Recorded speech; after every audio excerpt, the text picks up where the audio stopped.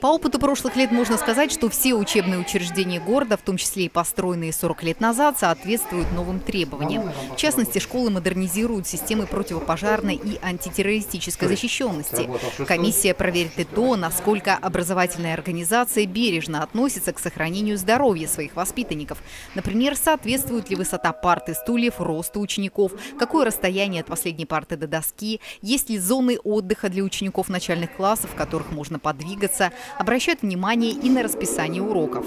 Только при допуске от всех служб школа откроет свои двери 1 сентября. Начнется приемка с первой общеобразовательной, а завершится 13 в следующий понедельник.